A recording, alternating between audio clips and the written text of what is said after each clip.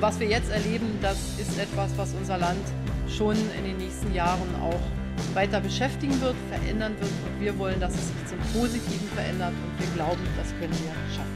Moi, je pense ici aux victimes qui ne sont jamais photographiées, qui sont ignorées. Et puis aux victimes futures si nous ne faisons rien. But given the scale of the crisis and the suffering of the Syrian people, it is right that we should do much more. So, Mr. Speaker, we are proposing that Britain should resettle up to 20,000 Syrian refugees over the rest of this Parliament.